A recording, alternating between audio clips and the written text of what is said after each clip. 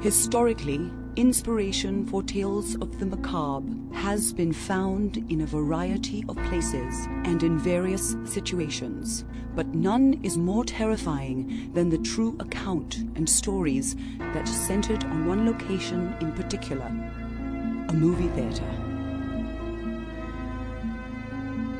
The discovery of long forgotten materials stored in the California based Universal Archives and Collections Library resulted in renewed interest in one theatre out of hundreds and reignited an earlier attempt to recreate the building in miniature.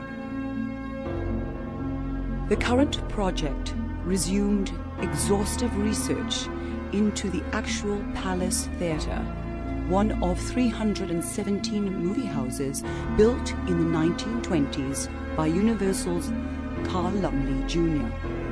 Forced into liquidation in the late 1930s, the Palace, along with all Universal owned theatres, passed into private ownership.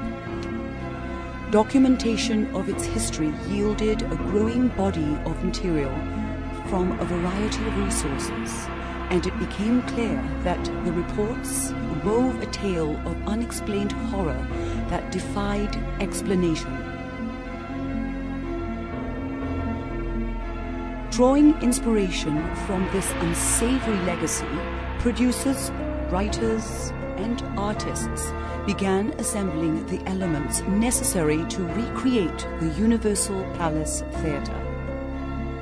Archive materials, rediscovered in the research phase, were carefully restored and remastered through state of the art technology.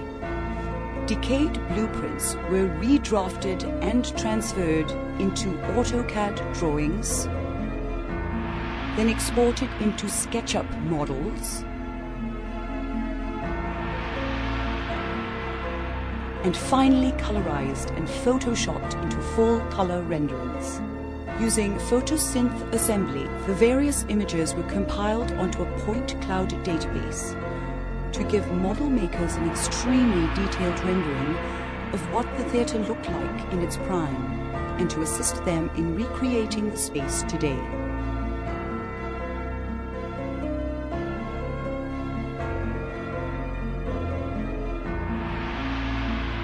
Wherever appropriate and accurate, figurines were crafted to represent the individuals reported to have been victims of the theatre's horrifying history.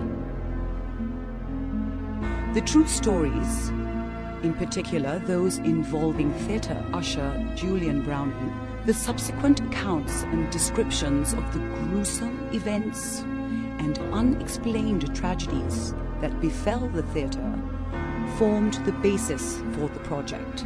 Witnesses claimed, even long after his death, the usher had been present at each of the tragedies.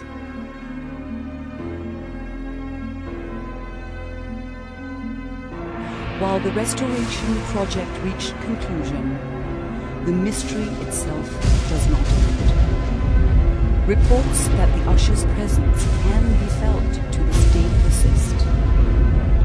The Universal Palace Theatre is once again complete, and Julian Browning is home.